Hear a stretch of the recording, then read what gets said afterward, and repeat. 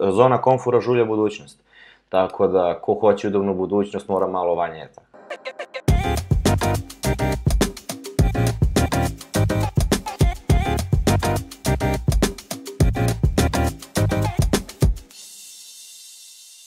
Uroš je dobrodošao u Bolje te podcast. našao.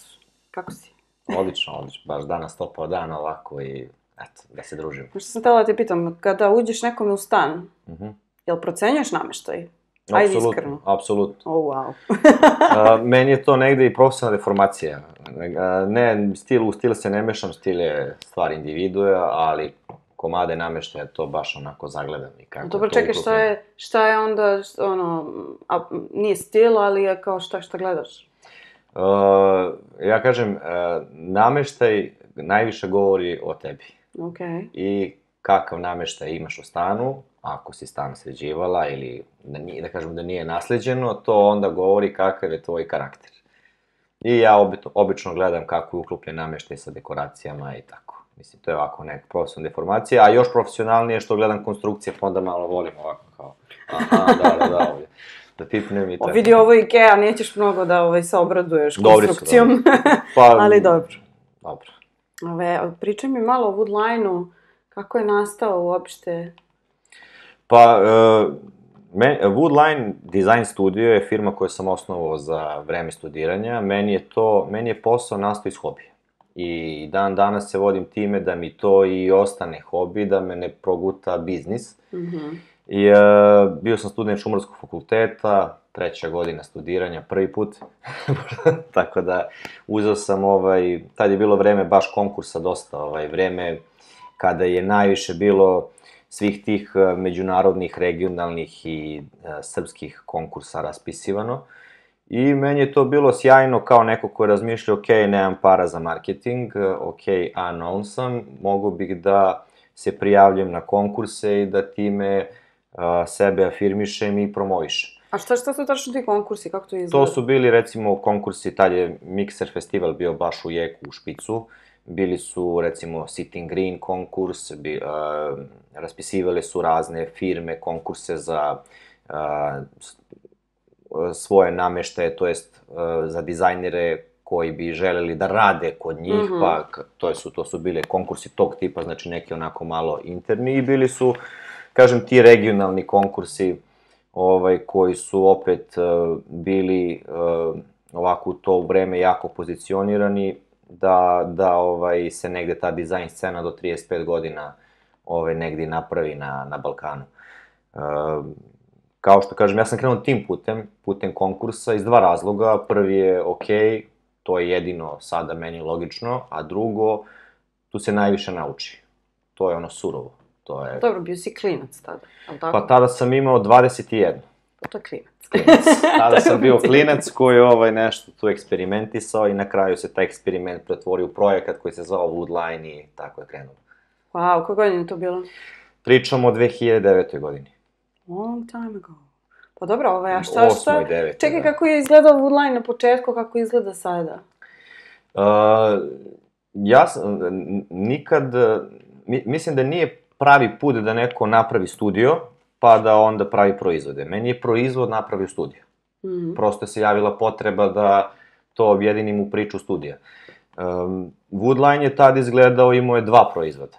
Imao je lampu Cobra, koja je to, ta lampa je zapravo i prvi moj uspeh, posle sedam nekih velikih neuspeha, ali ja volim neuspehe. Ja uvek kažem i javno, ja sam čovjek koji voli neuspehe jer iz njih možda nauči. Iz uspeha ne možda naučiš, po, po, po defaultu ideš da uspeš u nečemu. I tad je izgledao, um, filozofski gledano isto kao i sad. Dobro, u kom smislu šta je to? Pa smatram da uh, kad neko krene da gradi, ajde da kažemo, biznis ili studio ili sebe kao freelancera, uh, u početku ne treba da se bavi infrastrukturom, kapitalom, plate, ovaj, financijskim sredstvima. To su stvari koje vremenom rastu ili opadaju. Ali filozofija je nešto što u samog početka kreativnog rada ili opet kažem na stvaranju ili studija ili, ili firme ili bilo čega treba da bude visoko po, Mhm. pozi, pozicionirana ovako da se jer filozofija nosi celu ceo DNK brenda i kasnije kad krenu te neke turbulencije na tržištu i kad krenu problemi, jedino filozofija koju ste vi postavili može da vas, da vas izvuče iz problema.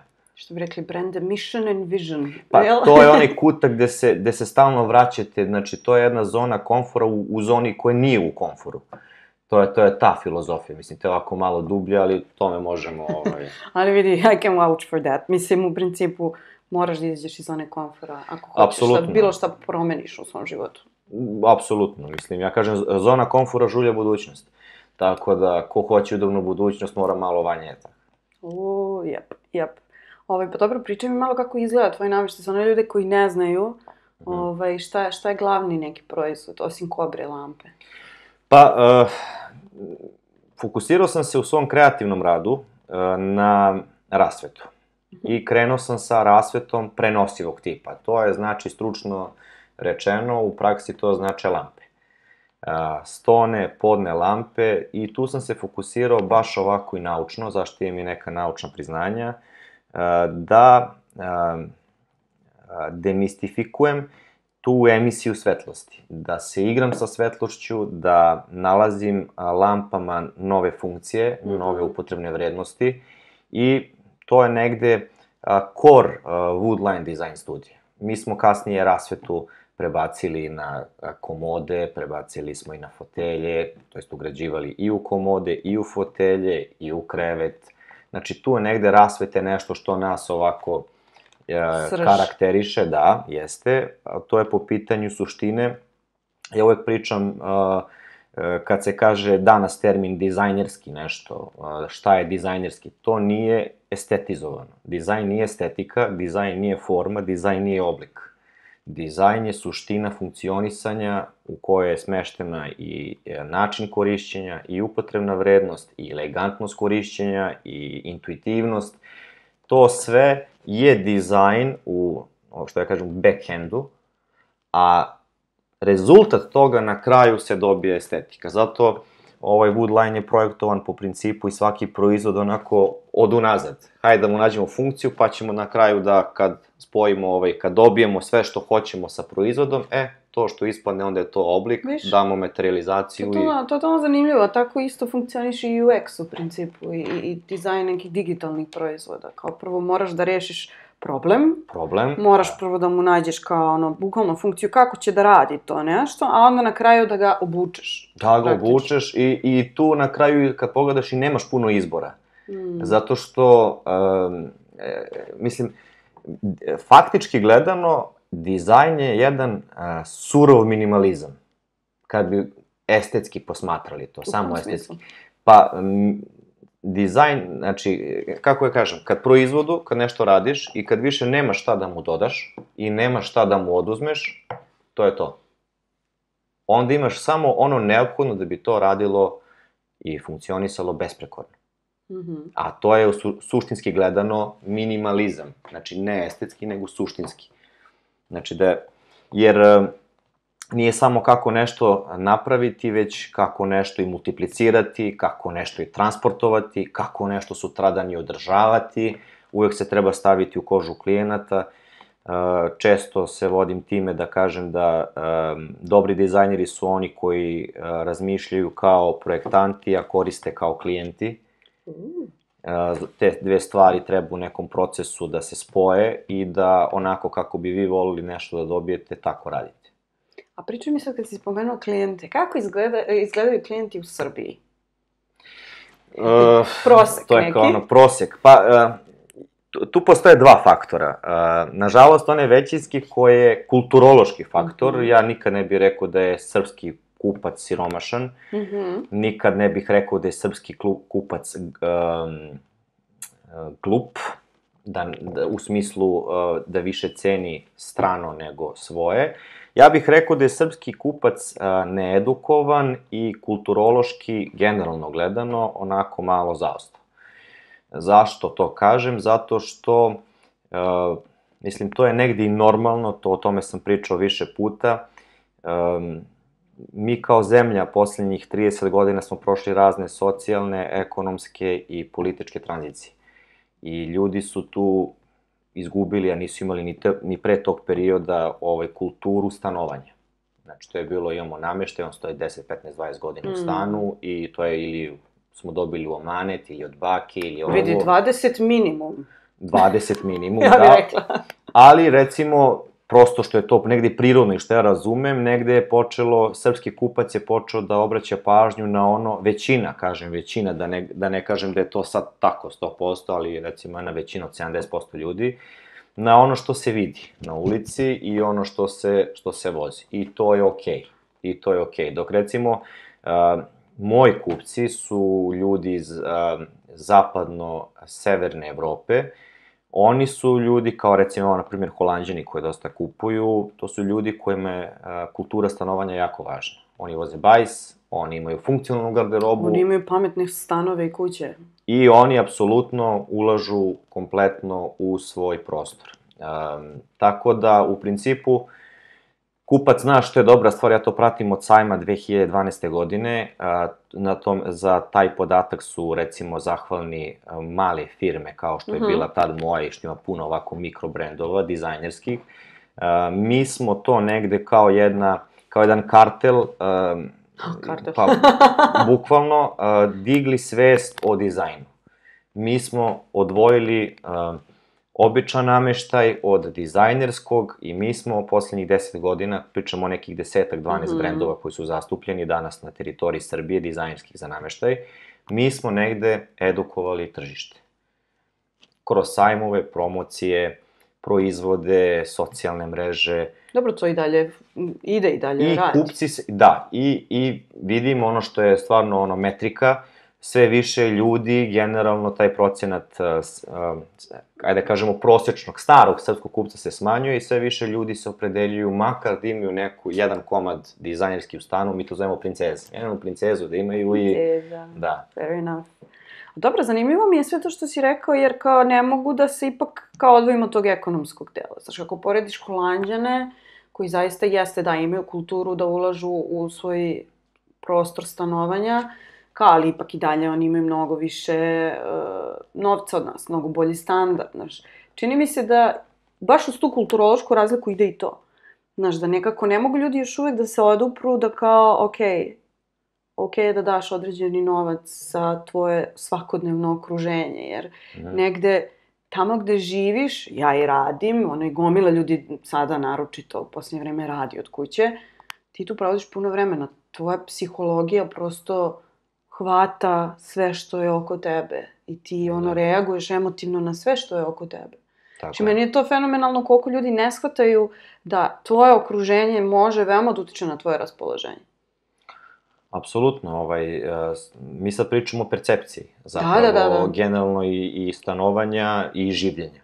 Um, opet kažem, e, koliko koliko god zvučalo onako kontradiktorno, finanski faktor ne utiče na percepciju. Um, um, mi kao balkanski narod, um, mislim, ajde da se razumemo, s- svi znamo šta je jeftino, niko ne zna šta je skupo. To je, to je, to je baš pravilo iz biznisa. Svi znamo Da, šta je jeftino, niko ne zna šta je skupo. Da, što bi rekla moja mama, to što je skupo ne znači da je dobro. E, Da. to, e, to je, Da, to, to. e, tu onda uvodimo faktor brand i branding, Mhm. jer kad nešto brendirate, vi zapravo, brand je ona firma, korporacija, čovek koji je stekao poverenje da to što će dobiti klijent će biti ili bolje ili isto kao što je očekivao. To je znači proces koji se gradi, to se ne gradi kroz cenu, to se gradi kroz Mhm. uh, a, edukaciju kupca. Što Mhm. više edukujete, ja sam neko ko svoje kupce edukuje, koji preporučuje uh, kolegama, uh, to je kupce svojim kolegama, jer negde taj front koji se stvara trebalo bi baš da promeni uh, tu našu staru percepciju da pa šta kao ovo je 100, pa šta kao ovo je lampa. Pa nije isto, mislim, ako je tako, čemu onda 10 pari patika? Mhm. Čemu onda dva auta i, u posedu neku? Jeste. To je, kažem, to je sve percepcija. Jeste, Nam, I negde nama slogan, ovaj, to jest, ja volim da se stvari dese, volim da stvari pustim. E, moj proces, ja uži, neko sam ko uživa u procesu. I tu je izašao slogan, kad su me pitali, to je bilo baš na jednom intervju 2011. godine, sam ja rekao, ok, nameštaj nije nešto što se samo koristi, već nešto sa čime se živi. To je najintimnija stvar. Vi živite sa nameštajem i to je nova percepcija. Da. To je nova percepcija. Stara percepcija je to što kako sam rekao, sto kao sto, lampa kao lampa. Pa, ali znaš šta, mislim, uh, vidi A to ono... sve zrači na čoveka, to sve utiče Da, tako je. a, podsvesno i subliminarno, da li će onda se Mm. osjeća dobro, da li u stanju, u stanu mu se recimo luči kortizol ili mu se luči serotonin, znači to sve jako utiče na celu psihologiju jer to je živa stvar, dizajn je živa stvar. Ja mislim da nakon prošle godine će ljudi malo jače da počnu da razmišljaju o tome, jer kao prošle godine smo svi baš bili zatvoreni. Ja znam da sam ja moj stan izmenila sto puta, iz ona ludila glave i između ostalog, ali mnogo mi je drago što se, što se negde stvari, prom, mislim, menjaju se, pomeraju se, pa čak i na silu. ovaj, pa, ali, ono, prosto vidim da moje kolege dosta počinju da obraćaju pažnju Mhm. na svoje okruženje, mada Ikea i dalje vlada. Ovaj, šta ti misliš o Ikea? Ja, ja IKEA apsolutno poštujem. E, ja se jako ljutim kad neko kaže da to nije kvalitetan nameštaj. Ne, to je apsolutno kvalitetan nameštaj jer ljudi mešaju kvalitet sa dugotrajnošću. Mm.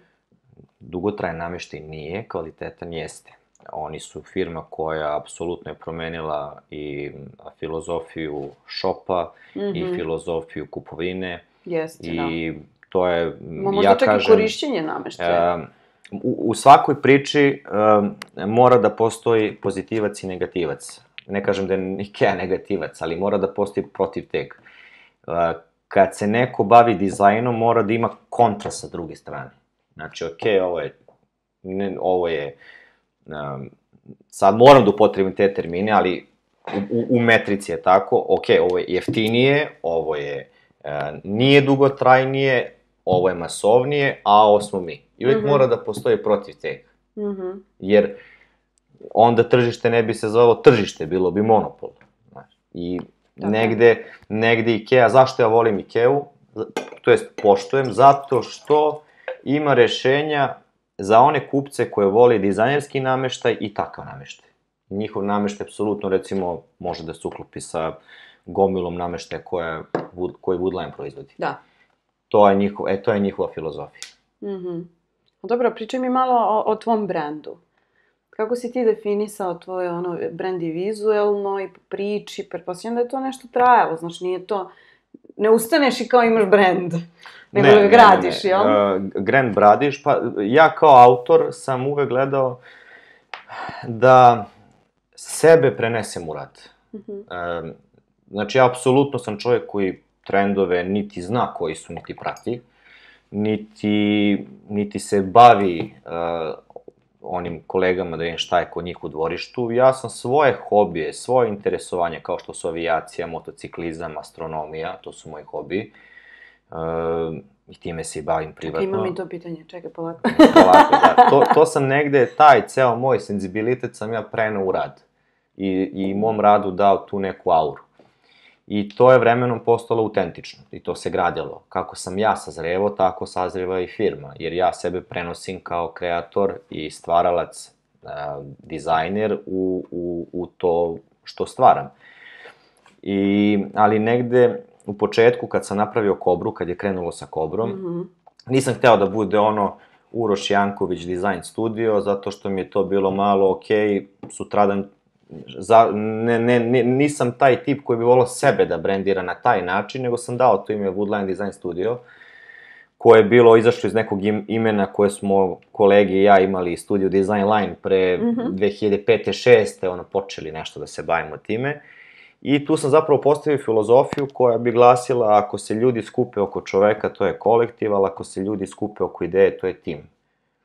I ja sam taj koji apsolutno radi za brand. Iako sam ja napravio brand.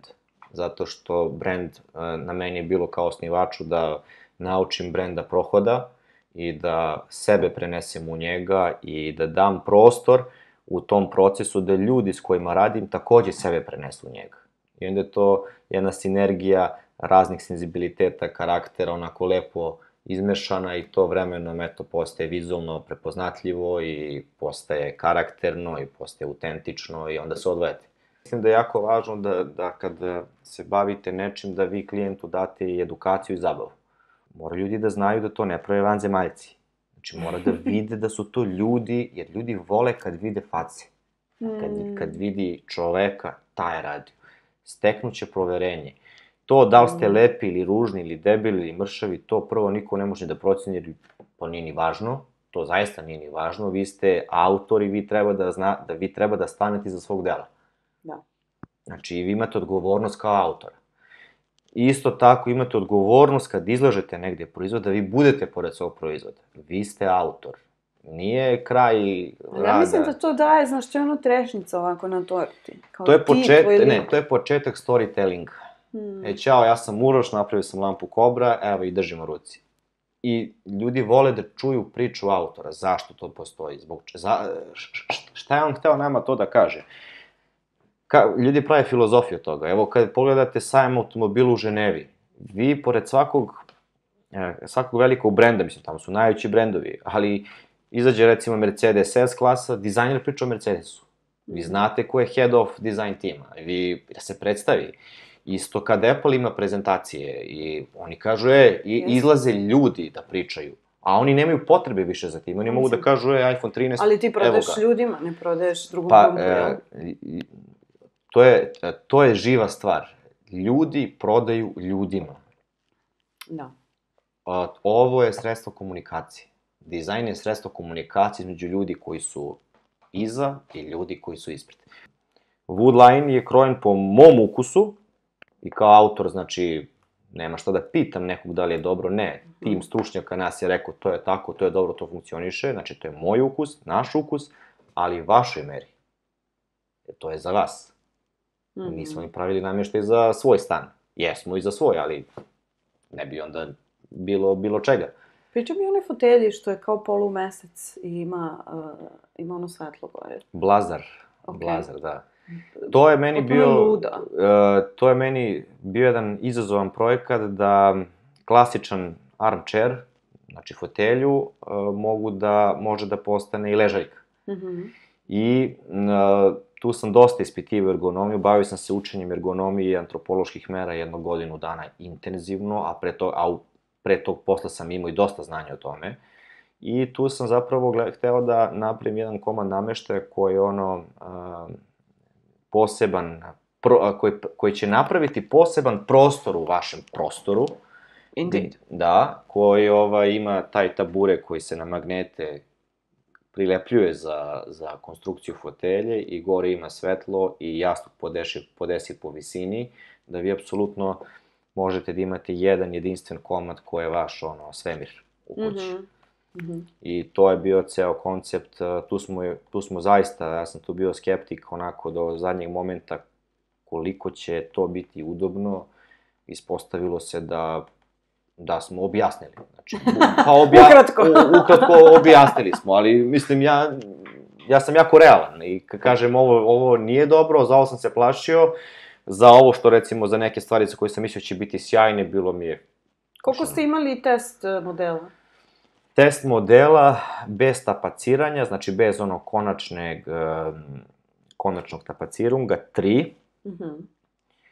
Pa onda smo, kad smo tapacirali, onda smo imali sa jastucima, to je sa dizajnom jastuka, a, jer problem kod fotelje je što sediju ljudi različite visine, godište i kilaže. Mhm. I treba svima da bude udobno. Kad neko sedne u polusferu, to nije udobno ni kao sama polusfera, kamoli na taj faktor da različiti ljudi sedaju. I onda, sam se, onda sam se bavio, a, e, to je ono što ja volim da kažem, a, a, puštao sam i ljude, i tapetare, i stolare, i bravare, a, da i oni svoje mišljenje daju i da oni to testiraju dok rade, jer i oni su kupci, i oni su ljudi. Da. I svi su različiti gabarita. Mhm. I onda smo ovaj, tu došli do rešenja, ali faktički s njom se desio baš neki momentum da, eto, final, znači kad se sve iz trećeg smo mi dobili to. Pa dobro, to je ovaj, To poprilično je- brzo. Ja sam očekala da ćeš da kažeš 30. Des, ne znam, u stvari ja Ne, ne znam koliko ovaj, tu obično ide. Ja ovaj. uspevam iz drugog puta ili trećeg. Zato što prvi put kad napravim prototip, mi živimo sa njim nekih 6-7 meseci. Mhm. U tom procesu ispitujemo konstrukciju, kako se ponaša spoj, detalj e, i tu onda ispitujemo da li je to suštinski dobro.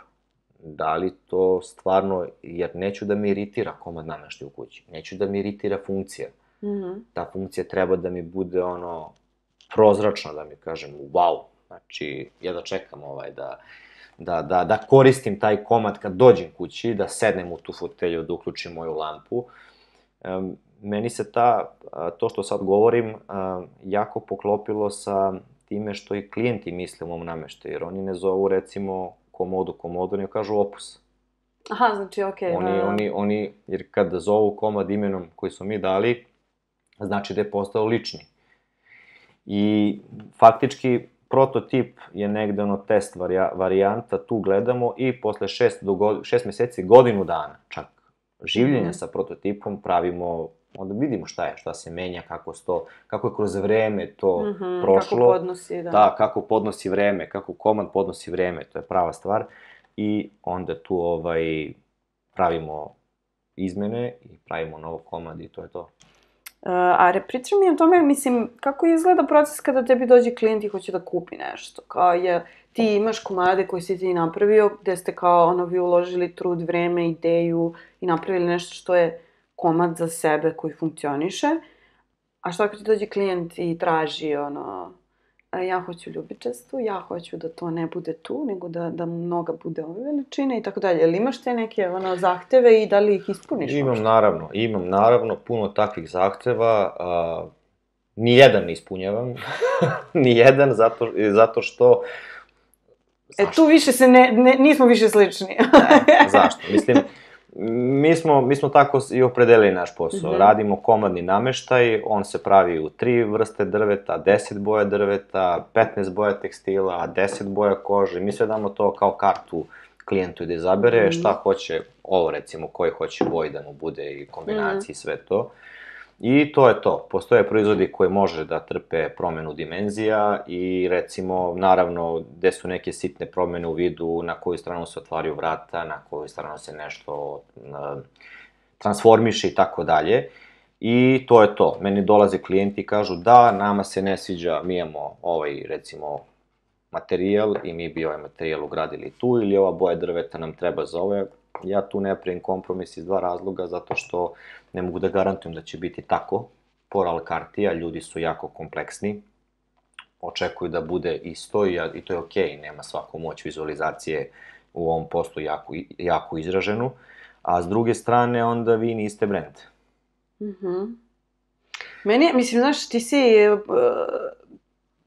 profesionalac i ako je neko došao kod tebe, nebitno je da li se baviš ono, industrijskim dizajnom, da li se baviš uh, UX-om, grafičkim ili nešto. Neko je došao kod tebe i kao profesionalca te unajmljuje da mu napraviš najbolje rešenje. Ili, mislim, dobro, ti imaš komadni, ono... Ja imam već gotov, gotovo, gotovo rešenje već, koje prodajem. Tako, tako je, razumeš. Tako. Ali isto je, u principu, isto je poruka, iste... je poenta, kao ti unajmljuš profesionalca za nešto, ta osoba će da to sagleda iz zilion različitih strana i da ti napravi pravu stvar. I kao Tako. poverenje u takvu osobu je ključ, čini mi se. Pa čak ako je ono, to što ti kažeš, hoću samo drugi materijal. Ne, to drvo nije tako fleksibilno, to drvo će da se raspadne ili šta već. Pa isti je princip. Da. kao kad e, odete kod stomatologa. Vi ne uzmete ono pa sami znate bolje gde vas boli od njega. ali ovo je posao koji je takav, koji je mnogo lakši od e, medicine, prava, arhitekture, mhm. jer ljudi misle, ok, ovo se uzme, napravi i seče, sve je to ok. Ali tu postoji mnogo zakonitosti, mnogo znanja, mnogo, mnogo prakse, da. mnogo svega, da bi mhm. klijentu zapravo trebali da kažemo, vidi, mi smo našli najbolje rešenje od postojećih zilion, to rešenje preko puta tebe i to radi sa promenom tog rešenja, pitanje da, da će raditi. To, tako je, da, da, da, da. Mislim, kao i auto, auto industriji. Uzem, stavim drugi agregat i super, stavio sam agregat, ali to nije kompatibilno sa, sa ostatkom auta. A ovo ja šta je umetnost, a šta zanat? Znaš, kad pomeneš brand, to je sad negde ono, dizajn totalni i kao neki marketing, a kao opet i ono što ti praviš radiš zanatski, a opet je to negde i malo umetnički, jer imaš da. neku slobodu, gde su tu ono granice? Pa, uh, Jel ih ima? Ka, kaže, nema? kaže ovako, umetnost je, mislim, svašta se danas može nazvati umetnošću, ali za mene je umetnost nešto što je jedinstveno i što ne može da se multiplicira i to je okej, okay. a nešto što je zanatski, a to zovem inženjering, sve da ima tehničkih računjenja, mm. statike i svega, to je nešto što je um, jako bitno da bi, da bi se ovaj, uh, da bi proizvod došao kod kupca. Tako da ja kažem, kad spojite umetnost i spojite inženjering, vi dobijete primjenjenu umetnost. E, to je dizajn. Znači, nešto što je uh, po karakteru umetnički, a po uh, proizvodnji inženjerski. Mm -hmm. I to je glavno, to, to, je, to, to, je, to se zove primenjena umetnost. Uh, ja sam se uvek vodio time da sam više inženjer nego dizajner. I dizajn se uči baš zbog toga. Pa dobro, ja bih rekao da su i inženjeri svojevrsni dizajneri. Apsolutno. Znaš, samo zavisi na kom si polju. Kad kažu Apsolutno. dizajn, ljudi obično misle na neke vizuelne ove, Zato i kažem, umetnosti. ljudi misle da. na neko ko je nešto fantastično, iskreno, svemirski. Iskreno, napravi. osoba koja je osmislila veš mašinu za mene full dizajner i to fenomenalan. A to se zove u stvari inženjer. To se zove inženjer, tako. Ali meni to, ono, dođe na isto sad, vizu, da li si vizuelni ili nisi, to je već drugo. Mislim, industrijski dizajneri postoje koji pravi veš mašine i automobile i motori i šta je znam. I industrijski dizajneri su jako potkovani tehnički. Da. Ljudi misle da se da je to čovek koji je industrijski dizajner, on je otišao u firmu i on sad tamo ima samo da crte i da ideje i to je to. I onda dođe u proizvodnju i kažu mu, e pa nemaš ovako se napravi, mi nemamo tehnologiju za ovo. Znači moraš da poznaš tehnologiju da bi mogao da napraviš koncept po kome ćemo mi da napravimo nov proizvod. Meni je fenomenalno zato što meni to isto kao moj posao. Isto. Ali to je suštinski... Ali potpuno je različito, naravno. Mislim, ja ne bih uspela napraviti stolicu, verovatno. Pa nisi pokušala, tako da... Ti jedno, misliš. jedno 700 dana edukacije i bit će to okej. Okay. Uf, možda onaj tronoša, znaš, i to je pitanje, verovatno bi negde bilo u obli, malo, malo bi pala s vremena na vreme, ali to, šta sad, padneš, ustaneš. Ovaj. Padneš, ustaneš. Nije ni to neki... Bar, bar padaš s male visine, to je dobro. Tako je, treba to barem ono da, da, da ispratiš. Svašta si mi ispričao, ovaj, e, na šta bi voljela da čujem? Hmm. Da li ti imaš preporuku za mlade dizajnere? Kako da počnu, da li, da li vredi baviti se uh, okay. dizajnom koji ti radiš, ono, da, da praviš nameštaj, da radiš nešto što je kod nas malo na margini negde, mada nameštaj nije, ali ovaj, u principu nešto što deluje kao da tu ne može da se napreduje. Jer prosto tržište možda nije dovoljno razređeno ili nešto. Pa, e, kada sam ja počinjao, nije bilo ni Facebooka, ni Instagrama, ni e, načina na koji može da se uradi besplatna prezentacija. Mm. Ajde, tako da kažem. E, korona je bila prošle godine, sad baš znam šta pričam. Više niko ne može da sa sigurnošću čak ni od eksperata u prodaji i u marketingu kaže šta je, šta može da uspe na tržištu, a šta ne, jer se tržište totalno promenilo i sad se ponovo sklapa. Tako da ja kolegama koji hoće da ovaj e, rade ovaj posao, da se bave nameštajem, apsolutno kažem da pucajte, dajte sve od sebe i nemojte da razmišljate o tome da li će to uspeti ili neće. To mm. nećete znati dok ne realizujete. Prvo kao idejno rešenje, a zatim dok to ne isprezentujete. Uh, tu je onaj, što ja kažem, ezoterijski moment, da, apsolutno veri u to što radiš i veruj da će to naći svrhu i veruj da će se stvari poklopiti u budućnosti. Znači, tako da, e, neko sam ko baš ohrabljuje celu priču da, da mlad autor treba da krene da se bavi ovime, da treba da pusti velike firme da rade svoj posao, da se ne ugleda na njih, prvo što nije sve kao što izgleda, a drugo što to su neke druge priče, to je neko, neka druga filozofija njihova, treba sebe da napravi autentičnim, da pusti kao autor, što ja kažem, one srčane čakre, da baci sve na, na, na papir, da bi to dobilo neku energiju i život, da faktički time ne prati trendove, ali prati standarde. Mm -hmm. E, je velika razlika. Učite standarde, učite šta je potrebno da bi se nešto sertifikovalo, da bi to dobilo pravnu, pravni okvir da može da izađe van okvira zemlje, a nemoj da pratite trendove, jer to, to pratite nekog drugog onda vi niste autor. Mm -hmm. Vi ste ko-autor tog trenda. To je, to je negde ovako, tako sam ja krenuo, to je, znači ja sad pričam pošto ne dajem savete, ne mogu, smatram da ne može čovjek da da savet i nikad ne osuđujem, ali to je nešto što sam, čime sam se ja vodio da pronađem sebe, jer a, dobra stvar kod kreativnog posla je ta što paralelno dok učite o kreativnom poslu, vi najviše učite o sebi. Mhm. Da, hteo ili ne. Te, najviše. Nema tu izbora mislim, mnogo. kad učite medicinu, meni je majka lekar, mislim, opet ono, on internista, hematolog, vi kad učite medicinu, vi učite medicinu. I vi učite kako da rešite zdravstveni problem čoveka. Kod kreativnog posla, kad tražite nova rešenja, pa vi sebi rasklapate. Jer vi morate da napravite taj neki mentalni sklop Mm. koji je stroj za, pro, za pronalaženje novih rešenja. E, to je dizajn. Kako ti najčešće dođeš do neke ideje?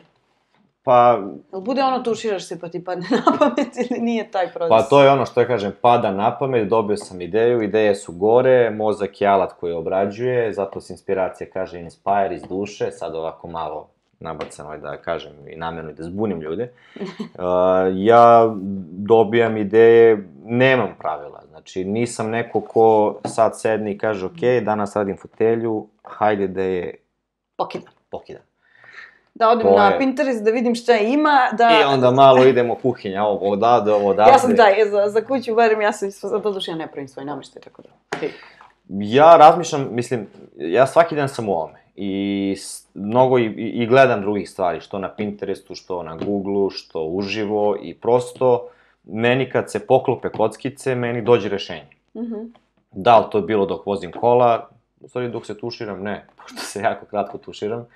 Ovaj, i tu, Meni tu nik, baš ja nemam- nikad nisam kapirala to, meni je to potpuno sumanuto, kao ljudi, tuširam se, sad razmišljam samo o tome kao... Razmišljam kako se okrenem u tuš kabini da ne zakačem. to, Pa kako da ne padnem na nos? Nikad nisam imala taj trip da kao, aha, možda eventualno dok kuvam nekad, ali kao ni, i to mi je ono, ne, Ne, ali ne. recimo ja volim da dan završim e, tako što uradim jednu higijenu misli. Onako, dođem kući, stavim noge onako kao kaubane na moju vitrinu, na stolicu u kojoj sedim od petog razreda, to je moja omiljena stolica, na stočkićima obična. i živa je cela, Živa je cela je, doduše malo sam je ovaj, to radi. Frankensteinizovo. e, I onda tu ja onako malo istihujem. E, u tim momentima, kad sam ja, ali nemam, tad ne gledam ni telefon, ni kompjuter, ništa, tad baš sam ono, hajde da budem 10 minuta sam sa sobom, danas sam prošao pet sastanaka, bio dva puta radionici, bio u elektrolaboratoriji, bio sa klijentima, ludilo, zaglavio na gazeli, hteo padorom da skočim, znači to je ono dan koji je jako dinamičan, e onda tad u tom nekom momentu kraja dana, što je negde 1, pola 2, 2 uveče, tad nekih 10-15 minuta odvojim i tad sam ja zapravo je našao taj neki algoritam kad ja krećem da, da radim. Mhm. I tad ako imam dobru iskru, onda jako često mi se dešava da produžim do jutra. I da baš na dizajnu, na ideji koji sam dobio, da je rašlanjujem, sklapam i, i radim. Nice. Drago mi što si pomenuo ovaj, to neko, uh, možda mi, ja bih se usudila da kažem meditaciju, ne mora da bude, ali liči. Ovaj, taj neki moment gde kao ono, odmoriš se sam sa sobom, malo učutiš. Pa treba smiriti misli. Ja kažem Mm. ono, da se zeznam, običan čovjek ima d- d- 20.000 misli u, u minutu, a ja kažem, a kreativac ima 50.000. I to treba smiriti. Potvrđujem. Da, i to, i to treba smiriti. Mislim, svaki čovjek treba da malo, eto, provede vreme sa sobom. Da ima taj neki moment u toku dana kad će da se, da će da se refreshuje mentalno Mm. i ovaj, da li je to meditacija, da li je to tihovanje, na kraju krajeva to mu svedi na isto ili je to šta god daje, mislim da je to jako važno, jer Da. koliko je bitna higijena ruku, a bitna je još i bitnija higijena uma. A Slažem se. to malo ljudi tu cache memoriju prazne u glavi i onda... A naročito telefoni ovaj, uveče, meni je to glavna razlika u mom životu je se desila kad sam izbacila telefon iz spavaće sobe uveče. Mhm. Kupila sam digitalni ovaj sat da me budi i to je bila renesansa je počela za mene. Ovaj, samo, nema telefona, zabranjeno u spavaćoj sobi, unošenje telefona, bukvalno. Pa ovisnici smo od, od toga. A šta su neki planovi za budućnost? Jel imaš nekih ovaj, što možeš da podeliš insajderske informacije? Pa, uh, 42, 3, 4, evo, čak ne znam ni sam koliko autorskih radova sam imao do sada iza sebe, posle 11 godina rada, tu sam ovaj, formirao gamu, više neću da se sad u narednih godinu dana bavim dizajnom. Sad ću se baviti, da širim taj community, da, da brendiram na teritoriji Srbije, da, tako je. Pa ću vidjeti, razmišljam sam o nekom salonu, to neće biti salon, to će, evo, mogu kažem, ekskluzivno biti kafić. Mm Kafić gde će, ali posebna jedna, nije samo kafić salon, nego bit će tu nekih posebnih Vraćamo ovako... mikser. Iako mikser neće da se vrati. no, no, nova je priča sad ovaj, ovaj, tako da gledat ću da taj community ovaj, stvorimo oko, oko brenda, da, da malo i krenem da upoznajem kupce, jer kupce i ne znam, mi dobijemo ime, prezime i šaljemo. I da malo, eto, tu zajednicu, ovaj, da skupim oko sebe, to jest oko brenda da skupim ljude koji su dizajneri, koji su inženjeri, mm -hmm. koji su arhitekte, da negde, eto, napravimo taj neki mali front koji, koji će biti onako sjajna tačka ove dizajn scene u Srbiji. Da čisto bude onako Sjajno. da... I da recimo kad Sjajno. neko dođe tu da kaže, ok, hoćemo kuhinju, e, imamo čovjek, evo i za kuhinju. Mislim, sve mm -hmm. mora da teče, nije to samo da se vrti oko toga i da bude to. Da, pa mislim, zajednica je mnogo važna, znaš, mnogo možeš da naučiš, mnogo možeš da dobiješ, ali moraš i da daš. Moraš prvo da daš. Mm i to mnogo da daš, Mhm. da bi dobio. Kažem, je, čovjek ima jedan posao, da daje sve od sebe da bi dao najbolji sebe. I to je jedini posao koji ima čovjek.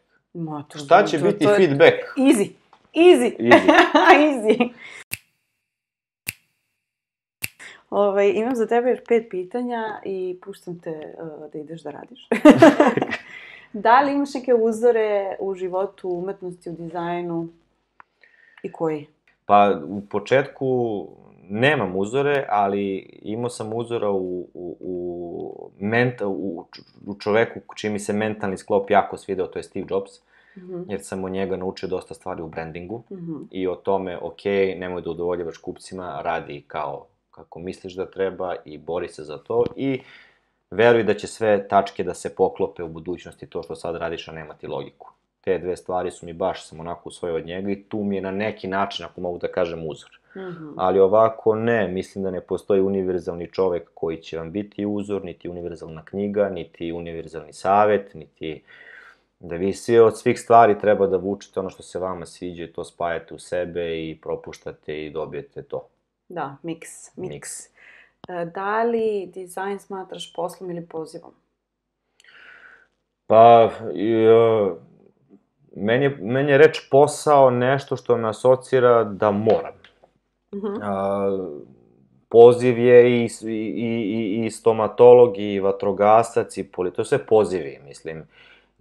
Ljudi, vi ste birali posao. Malo je glupo da kad nešto iza, izabereš, u njemu failuješ. A za mene je fail ako nisi dao sve od sebe u tome što radiš. Tako da, meni je bio poziv da, da eto, negde koliko ja mogu, to će vreme pokazati rezultati, doprinosem tome, tome da dizajn evoluira, jer je Mhm. generalno, nameštaj to jest, ne dizajn, jer je sve evoluiralo, ali negde nameštaj je ostao, ostao kao poseban segment e, tržišta, industrije koji nije toliko dobio ekspanziju. Ima još prostora tu. Da, ali ja ne smatram evolucijom kad vi stavite TFT ekran u, u komodu ili neku elektroniku ili masažere u fotelju. Ne, to spajate dve industrije. Ja volim one inovacije koje su e, interaktivne, gde se ispituje uzemno, e, uzemni odnos čoveka sa predmetom, Mhm. gde je psihologija važna, gde je upotrebna vrednost važna, taj segment ja, taj, tim segmentom se bavim. Dobro. A, da li imaš neki hobi koji... Pa dobro, vozim motocikle, Mhm. ovaj, vozim kafe racere, jedno kafe racera imam, to je tip motora iz 50-ih. A, oni su prelepi. Oni su da. najlepši od svih motora. Pa, custom je Mali ono... su, taman su dovoljno veliki nekako. Ne znam, Mm, subjektivno. i- što se kaže, ovaj, kompaktni su. Mhm. Kompaktni su i volim motociklizam, ovaj, od malih nogu mislim sam bio visine stola kad sam prvi put seo na motor. to me je negde ovako strast. A, volim avijaciju, sledeće što ću da ovaj, upišem jedan PPL da malo učim da vozim avion. to mi je isto onako baš uh, želja.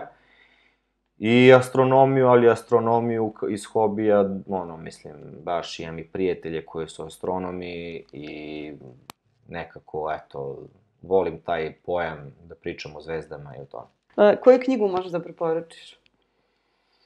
Uf. Knjigu, knjigu, Simon Sinek, Lideri jedu poslednji. Dobro, Simon, da, da, da. To bi ovako za početak. Ok. Koja ti je omiljena boja? Narančasta. Nije. Koja Sla- nijansa? Slago sam, mislim, narančasta mi je boja brenda, ovaj. Koja? Sam morao da kažem ovako su... Pa ne, mislim, nije ja sam, omiljena boja. Bela i crna nisu boje, ja volim te dve boje, ne znam, narančasta, siva, ne znam, znači ono, mora, roze ne nosim jer roze mi ne stoji, ali, znaš, ono, O, dobro, nema veze, mislim, u principu to je meni najteže pitanje, iskreno. E, puno ti hvala. hvala te. E, linkovat ću sve o čemu si pričao, tako da ljudi mogu da te zaprate, nemojte zaboraviti. E, to je to, ti i ja se ovaj, čujemo i vidimo možda u radionici, a Mogli možda i bi. u tom kafiću što si, o kom si pričao. Ićemo redom, radionica pa kapić. Odlično, Krećemo dogovoreno. sa ovom dizajn pričom, nek teče. Eto, Dogovoreno. eto, Pozdrav svima. pozdrav. Pratite Design priču na Instagramu, Spotifyu, YouTubeu, omiljenoj platformi za podcast ili na designprica.com. Za informacije o novoj epizodi i inspiraciju pretplatite se na newsletter.